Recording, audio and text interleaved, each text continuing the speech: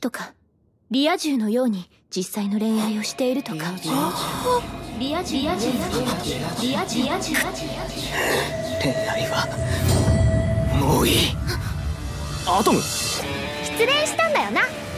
失恋というか時間の無駄っていうか。もっと詳しく。自分から告白してきたんだよ。装飾男子とか好きってだから装飾らしく振る舞ってさ。そしたら優しいだけで物足りない。自分がそういうの求めておいて。クソなんだよ。もっと険しく。人に文句言うくせに自分が言われたら逆ギレするし女って最悪だアトムが壊れた。現実はクソゲー。僕はもう二次元を愛する。スイーツをフィリックだな会の入部を歓迎します。え？